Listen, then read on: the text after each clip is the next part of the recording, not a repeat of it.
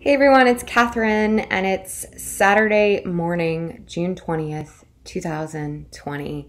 It is the summer solstice. It is the longest day of the year in what is seemingly the longest year we have all ever had. Uh, I'm really excited about the future, and I wanted to share some real estate advice for those of you who are curious about how you can make money in real estate, uh, whether it's your first time purchasing a property or you're looking for another means to invest aside from the stock market or you know wherever you're you're keeping your money currently. Uh, I am a licensed real estate agent in Philadelphia, Pennsylvania specifically, and I have worked with a ton of investors over the last nine years, I guess. Um, so I'm going to show you uh, what that looks like. It's only going to be a couple of minutes, so uh, just follow along. What we're looking at right now, screen-wise, is what's called the MLS. And MLS is a search queue not unlike Zillow or Realtor.com or Trulia, which are all accessible for anyone. The MLS is only accessible for uh, licensed real estate agents who have memberships. Okay, so it's where it's called a multiple listing service. It's where all agents put their listings on and there are notes in there the agents can see. There's access information for lockbox codes and things of that nature. So uh, I am searching on MLS and I'm searching for multifamily properties in the Philadelphia marketplace. And I'm searching for multifamily properties, which means it's a property that contains more units than just one single family, but multiple units. And I'm doing this because it is my belief, and we're going to go over some of the facts in a second, that you can purchase a multifamily property uh, right out of the gate as your very first property as an investment because you can end up making money above and beyond what your mortgage payments are. And that leads to passive income. So eventually you can pay off the mortgage in a shorter time frame, or you can hang on to it and just have that cash flow that comes in on top of the mortgage that you can put some aside for repairs or emergencies and or you know in, reinvest it into additional properties so I don't even put in a lot of criteria here except for what's active or coming soon onto the market because I, I know exactly where I'm looking in the fringy neighborhoods of Philadelphia. And I say fringy because they're the neighborhoods that haven't become so popular that they're overpriced yet. All right, so I'm to click on the map here and I live in Sharswood. This is my neighborhood right here, which has a ton of development opportunity. Ridge Avenue has seen a ton as well. And that connects all the way out to Fairmount Park. Now, Brewery Town has been blowing up recently. I just sold uh, right here at 31st and Oxford, the highest price per square footage in the Brewery Town neighborhood at $403 per square foot. That is a condo building built by Equinox Construction and Management. Um, hopefully I'll get John Weiss on my podcast soon so you guys can check that out. But so this neighborhood is rapidly developing and with good reason. This is Fairmount Park. This is the largest urban park in the United States. It is located in the middle of the city. We have the Schuylkill River that runs through it. There's Kelly Drive, um, Martin Luther King Boulevard, also known as West River Drive. I like to call it Martin Luther King Drive. Uh, beautiful, beautiful, beautiful tons of outdoor activities. Right here, right across from where I'm looking, you can see I've already checked off some of these boxes. There is uh, the new bike rentals, which Philadelphia implemented a few years ago. There's a uh, driving range, so you can actually, you know, practice your swing if you're a golfer. There's a frisbee golf course in here that's been around for ages. They actually added an additional, I think it's 18 holes, some five to seven years ago. Um, there's the reservoir, there's tennis courts that are located over here, there's amazing picnic areas for people, uh, and then there's some old uh, estate homes that I like to go take my dogs running around. So there's just a little bit. Strawberry Mansion is one of my favorite neighborhoods. I think that the architecture there is some of the, the most beautiful architecture in all of Philadelphia, aside from maybe Spruce Hill in West Philadelphia, where I also used to live. Uh, I am kind of nerdy about that stuff, so it's it's definitely one of my favorite neighborhoods. Now, in terms of uh, demographics of people who live here, you have a lot of folks who are uh, locals, not necessarily people or a huge flux of new residents in this area, but you're starting to see that push as neighborhoods get developed a little bit, properties get renovated, new folks move in. So if you live in this neighborhood already, don't move. Uh, talk to me about what your financial circumstances are, and we'll see if we can either partner you with somebody to purchase your first property, uh, which is what I'm hopefully going to be doing in in the near future, and or uh, you know get your credit and and finances figured out, and we can you know allow you to reap some of the rewards of this developing neighborhood that you already live in. So Let's take a look at some properties. Now, these two I've checked off for, for other reasons, but I really want to look at this one. This area right here along the park, there's a bit of a hill. You can't really see the grade here. So you don't see too much into the park, but you are right on it. So these streets are really wide and open. There's tons of room for, um, you know, parking and uh, just the houses themselves are really beautiful. So this address, 3236 West Berks, I'm to go ahead and look that up on Google so you can take a peek. This is another property I was looking at. Oops, let's go back.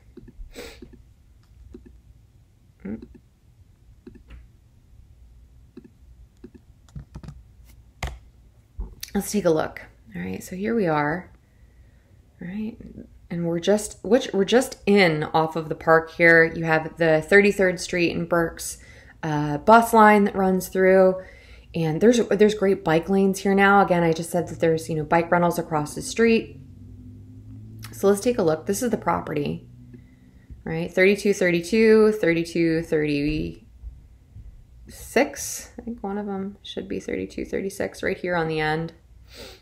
You can do that by counting because we go even numbers. So 32, 32, 34, 36, and this is what we're looking for. So it's an N unit. We're going to go down to the N and just kind of see what's up. You're not allowed to have windows on the other side um, when it's abutting another property. That's classic Philly. So you have really, really uh, beautiful architecture here. I want to zoom in a little bit so you can take a peek. Some of the original detail of the corbels, beautiful arches in the windows. You've got this beautiful bay with some of the tin and ornate detail, which is nice. It hasn't been covered up by siding, which I fucking hate. Who like stop putting siding on buildings like that? It looks terrible. But you know, sometimes they can't afford to do it a different way. You have this wrought iron here and little fencing, steps, nice outdoor porch. It looks like they have retrofitted air conditioning, so not ideal. But again, this was in July of 2019, so it might look different in person. So here's a location. You've got four row homes in a row, and some outdoor space right near Natrona.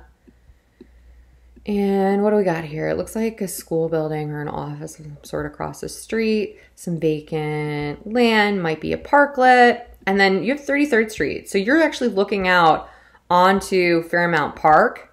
This is blocked off here. Um, sometimes you'll see like the the West Philly Cowboys coming through. They just made a movie about that. There's actually a lot of people who ride horses in West Philadelphia, including um, Brewtown and Strawberry Mansion. Along the water, there's actually stables, so there's that.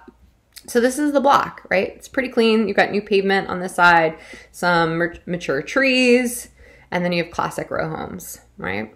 These people with the the we buy houses signs, that's how you know you're in a neighborhood that uh, might be gentrifying soon. You got a lot of properties, people want to sell, just move out. So it's a good sign for investors, sorta. Uh, not always a good sign for people who live in the neighborhood. So you want to be mindful of that. If you see those kind of signs, it means people are trying to buy the neighborhood. All right, so let's get back to this property. The listing, that is. Um, 3236 West Berks, it's listed for 427,900, so roughly 428,000. Um, people often price things like this just so that it comes in under what somebody's maximum range is when they're searching online.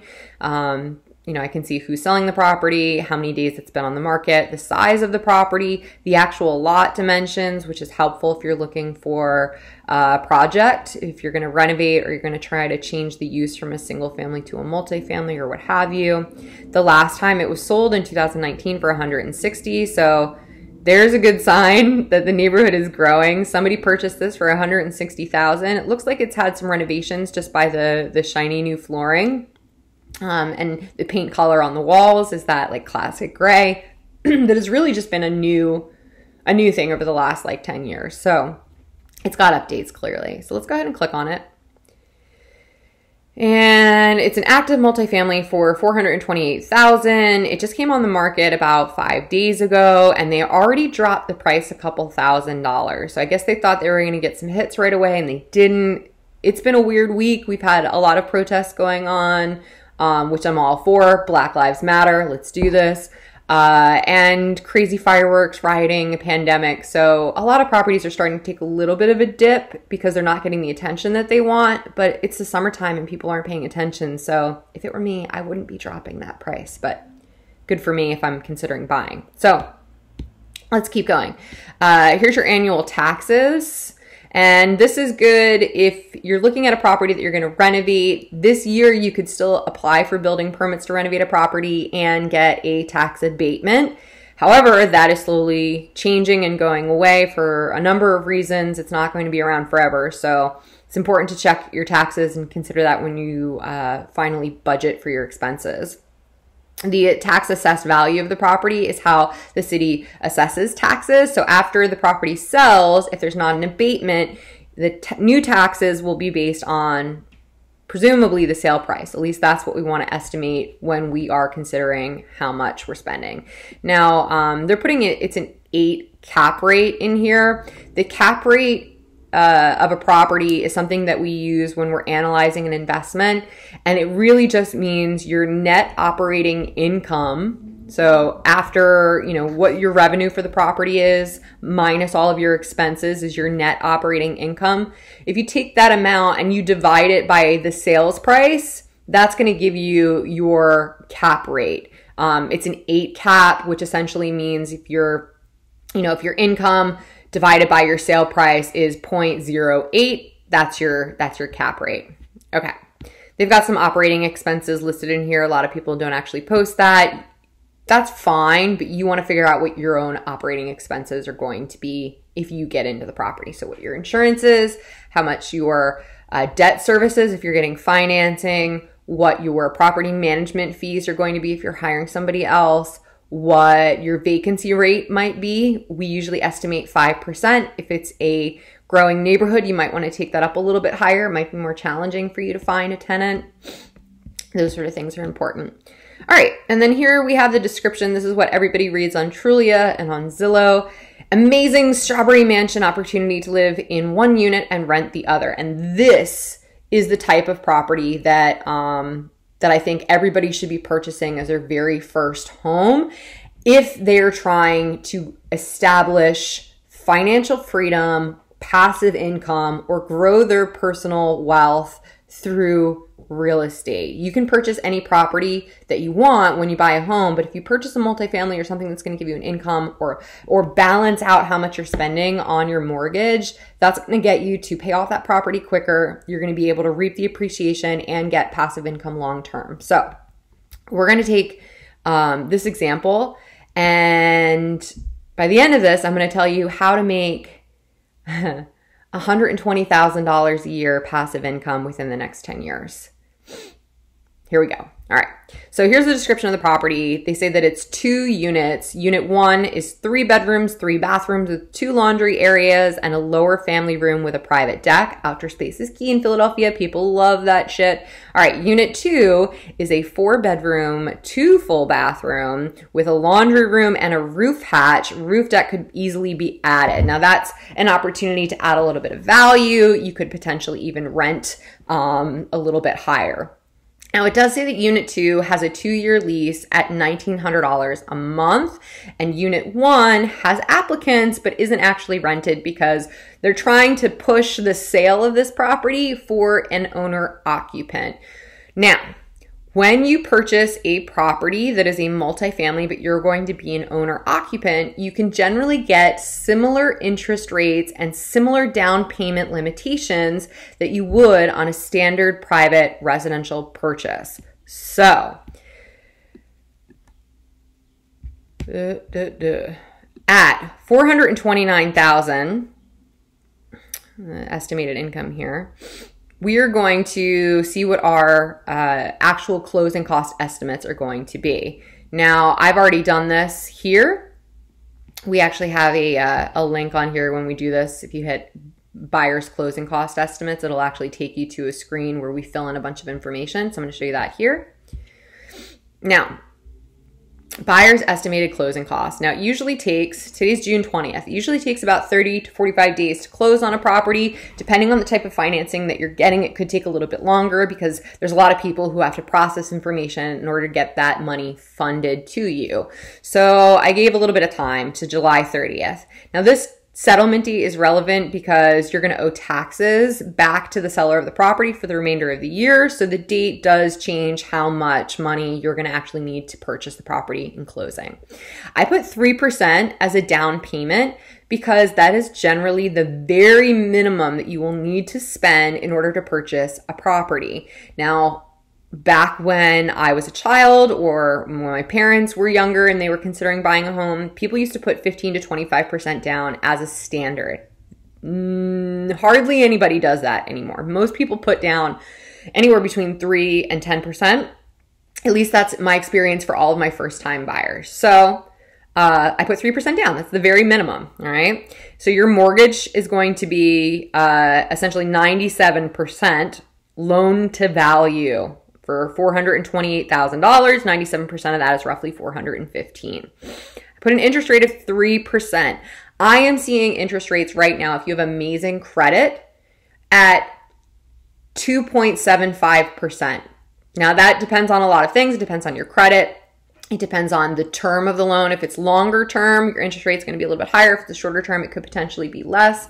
Depends. Um, but 3% right now is totally doable, which is insane. You realize you, like interest rates used to be like 10%. Interest rates, when everybody was saying, hey, refinance, refinance, they were at 4.5%. We're now at 2.75% to three and a quarter percent, um, which is insane. So if you can obtain financing to purchase a property, you should definitely do it. If you already own a property and you haven't refinanced in the last couple years, you should talk to me and I will connect you with a lender. Okay. So, closing costs. This is an itemized breakdown of all of the fees and costs that are associated with purchasing, and this is an estimate right? So I try to be somewhat conservative in my estimates. Um, this one is pretty pretty realistic. Depending on your lender, there might be a difference in fees depending on um, you know who does conveyancing. They might charge you a little bit different for things like recording fees, notary fees, etc. So take it with a grain of salt. All right, your mortgage origination fee. I put a standard uh, fee in here for fifteen hundred at four hundred thousand dollar purchase. Credit reports, appraisal costs. This is generally going to be a little bit higher. 400,000 for a multifamily is kind of low. You might go up another 100. Um, wires, couriers, underwriting, etc. Here you have your transfer tax. Now, this is important based on your location. The city of Philadelphia has a uh, 1% tax that's added on to the state tax, which is like 3.28%. So, 4.28% divided by 2 because the transfer taxes are split between the buyer and the seller, and that's $9,000. So that's something to consider when you sell a property, you're going to be paying that as well. Um, you're not just going to be making all the income off of it, and there's other fees that are associated, but this is for the buying side. Deed recording fees, homeowners insurance. Now, this changes depending on the type of property that you have. Um, I put $1,000 in here. This could be higher or less. Home inspection. Typically for a single family home, your home inspection, including termites and radon, which I just lumped into this amount, I didn't itemize it here, is going to be about $600. But this is a multifamily, so I generally go up. I've had multifamilies inspected at three units for 900. This is a two unit, but it's a four and a three bedroom. So I, I, uh, I did go up a little bit higher than what I normally would for a two. Okay. Uh, capitalization funding and condo move-in fees are not relative. Usually, capitalization fee is two months worth of condo fees when you move in, but that's not relevant here. Title insurance. I have an enhanced sale policy. Title insurance fees are regulated by the state of Pennsylvania, so they're generally the same no matter who you choose for your title. It does matter who you choose for title insurance because not all title agents and their teams are as savvy as others. They don't necessarily do as many deals, or maybe they, um, you know, have personality flaws that just make them slower than others. So be mindful. You want to choose a good title company. I have plenty that I work with. All right, escrows. Escrows mean essentially money that's held. All right, so taxes homeowners insurance, condo fees if they're relevant, and then mortgage insurance fees. Those are all um, processed by the title company at closing. It's where money changes hands because you're paying to move in and reimbursing the seller for payments that they've already made on these type of things. Okay. Transaction summary, um, and then ongoing payments. So your purchase price, I didn't even change this. I just left it at what they're asking. Closing costs, 17,368. Now that's a, an estimate, but it's a pretty good one. So closing costs can be uh, decreased. You can decrease the amount of closing costs you pay at settlement by doing a couple of things. One is called a seller assist, and that is essentially asking for a credit from the seller. So they're going to net less whatever amount you're asking for. Sometimes you can still net the seller what they're asking for by increasing the sale price and asking for a seller assist. That essentially loops the cost of closing into your mortgage. However, you want to make sure that your spread isn't so much that the appraisal value is not going to come in less than what the loan value now has to be. Otherwise, you won't be able to get funding. So, moving forward. Uh, Closing cost 17,000. But we're going to go down here and look at the estimated cash needed to purchase. Now, this is the total amount of money that you need to purchase this property. All right? There's some fees that you're going to have to pay prior to settlement, meaning before you get to the closing table, and that's things like inspections, appraisal fees, lender fees, etc. And then at the end of the day, it's really, you know, this is how much money you need to close that day when you get the keys to the property. Ongoing monthly payments, principal and interest, okay? Real estate taxes. Now, this is likely to go up, so you want to estimate based on the sale price of the property what your taxes might be, and that could be a few hundred dollars more a month at the end of the day, so take that into consideration. Um, homeowners insurance, again, that varies slightly. Mortgage insurance. Now, this is what we call um, PMI for short, or primary mortgage insurance. If you spend less than 20% down when you purchase a property, generally speaking, you will have to pay mortgage insurance because you don't have that much skin in the game. So the lender is taking a risk to loan you that money. Because if you default, it's not like you have so much equity in the property. The seller, the, the bank, if they end up with the property, they're going to have to sell it at roughly what you paid for it because they don't have, they haven't made any money off of it yet, right? So primary mortgage insurance. Sometimes you can pay for that primary mortgage insurance at settlement in a lump fee to essentially buy down the cost. All right. So here's your estimated monthly payment. You can purchase, this is what this whole thing is saying. I'm going to summarize it. You can purchase a duplex. There's two units, right? So it's a duplex as opposed to a triplex, which would be three. You can purchase a duplex in Strawberry Mansion near Fairmount Park for $428,000. All you're spending to purchase that property is 32, let's say th- we'll round up and say $33,000. And your monthly payment on that mortgage is going to be $2,272 roughly, okay? If we go back to this listing, right, and we read what it says, Unit 2 has a two year lease and is rented, it's already rented, for $1,900 a month. Okay? So you have 22, let's say $2,300 a month to 19. All right? So you're paying $400 a month to your mortgage. And you still have a vacant unit. Now, if this four bedroom unit is getting $1,900 a month. That's roughly $500 per bed. Then this three bedroom, three full bath unit, which I think is actually a little bit higher. I think you could probably get more than $500 a month just because everybody has their own bathroom and there's outdoor space. Hello, people love that.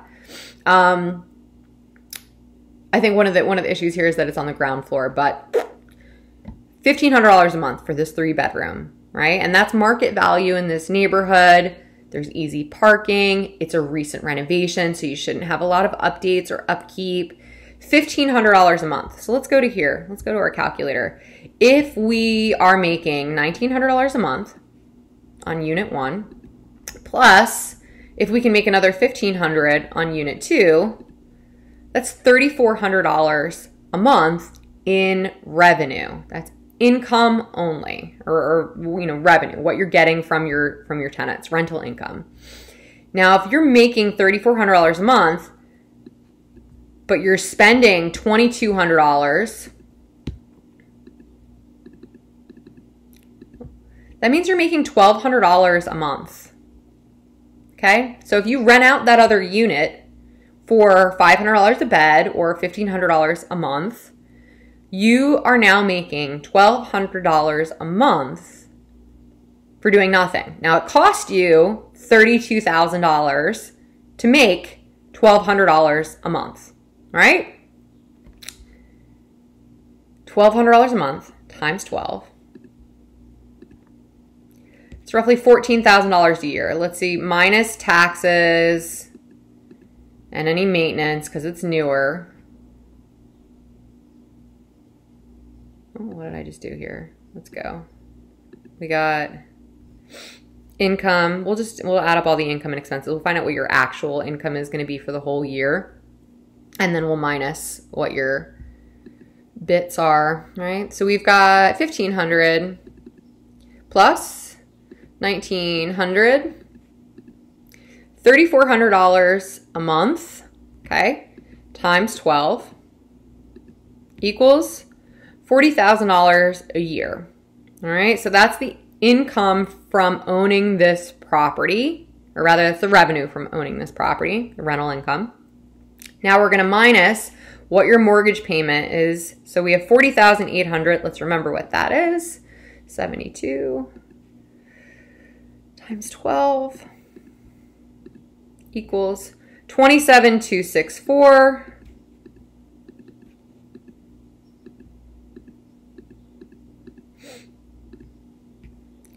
$13,000 a year. Let's minus your taxes. I'm estimating up here because the taxes were less. They're only a thousand, but I'm adding taxes and then ancillary expenses. This is if you're you're just managing the property on your own. It's $8,500 a year in income. In income. Okay? $8,500 a year in income. You spent $32,000 to get into this property. And in a year, you're going to make back 25% of what you spent, which means this house, what you what you spent to buy this house will be paid off in 4 years. Now the house won't be paid off. You'll still have this mortgage payment, but what you initially spent that $32,000, what you spent to get into that property, you'll get back in four years. Okay? Now, if you add value to the property, if you increase the rents over that time, um, you will obviously make more money. Now, if we multiply this times 10 years, in 10 years, you'll make $85,000. Now, this is one property. There's multiple units, but it's one property. And you have one mortgage on this property. As an individual, you have an opportunity to get up to 10 mortgages. 10 mortgages. All right. So if you're making $8,500 a year passive income from owning one property and you times it by 10,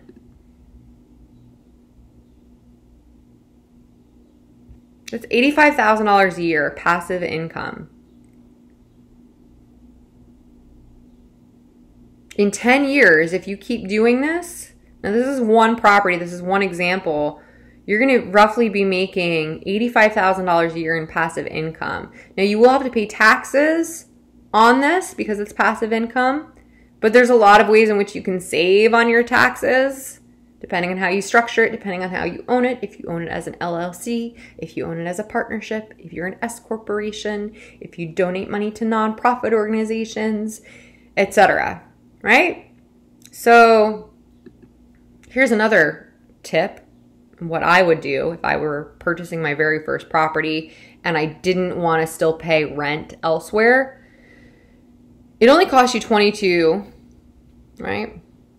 If you're 20, you're late 20s, early 30s, and you live in Philadelphia, you are probably like 75% likely to have a roommate which is super common, especially now. People like living with each other. So if it if if you only have a $400 a month payment and you have a 3 bedroom house or 3 bedroom bi-level unit that you can live in, one of those bedrooms can be yours and you can rent out the other two bedrooms for you know 500 a piece. So if you're getting $1,000 from one unit 1900 from the other and now you're making 2900 but your mortgage payment is only 2200 the, you're you're paying yourself $700 a month to live somewhere. Let that soak in for a second. Now you have to pay this amount of money in order for that to happen, you you need to save thirty-two thousand dollars in order for that to happen. But this is how I would do it because I'm a real estate agent, and I highlighted this earlier. So let's we're gonna take a look. This is the listing, right? This is the property itself. You can see the photos. They had it painted. Here's a street view. Some of the units, right? There's your basement unit. You still easily rent that out for $500 per bedroom. Nice bathrooms, cute kitchen, little outdoor deck. Hello, thank you. Laundry, everybody loves that. Little bay windows. Cute, right? Nothing too fancy, but it's clean and it's new. New appliances, gas range, blah, blah, blah, near the park. Easy. This is the listing.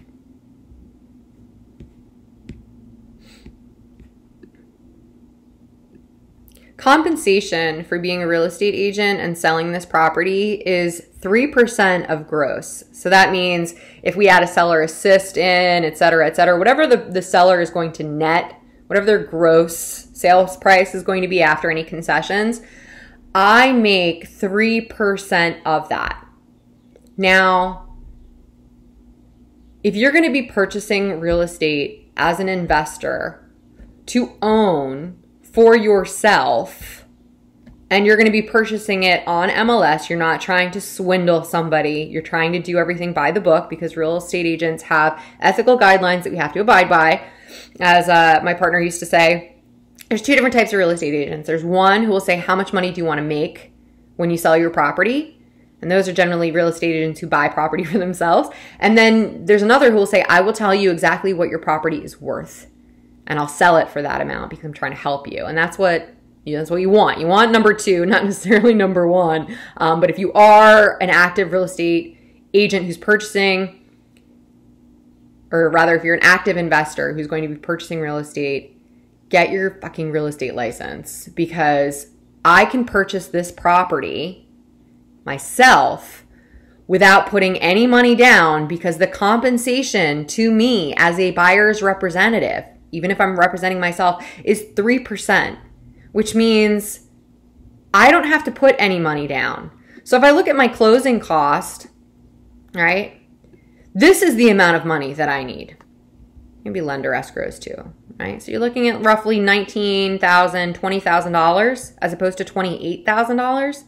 And I know how to save on that already. I can ask, I can increase the mortgage amount a little bit all right, the property is maybe worth a little bit more, and I'll, I'll show you how to analyze that in another video. But if I'm only spending $15,000, this is still going to be my monthly payment. Nothing else changes except I'm now suddenly getting a gift for payment in order to purchase this because I'm doing all the legwork. I'm not hiring somebody else to do it. I'm doing it on my own. Then my return on investment is much higher, right? Because I'm saving myself on that 3%. So at the end of the day, I could live here, right? I live somewhere down here, right? I live right here. I could live over here and make $700 a month. And it only cost me $15,000. Hell, if I move in the city of Philadelphia, it's going to cost me at least six. Rent plus fees plus moving costs plus time and energy taking off work, packing, etc. It's like $2,000 times 3, 6,000 easily. So double that. Right? How long is it going to take you to save $15,000? Fuck, get your real estate license, sell a couple houses, and put that money into, into, into real estate. Right? All right, well, uh, that's all I got for today. So I hope you enjoyed that perfect example of what you can do in real estate investing. And uh, if you have questions, I'd love to hear from you. You can reach me at phillyproper.com. That is my website. You can follow me online. If you're reading this online, just reach out to me DM. Um, all my contact info is posted on my business uh, social media accounts. So feel free to shoot me a text or give me a call, and uh, I'll set you guys up.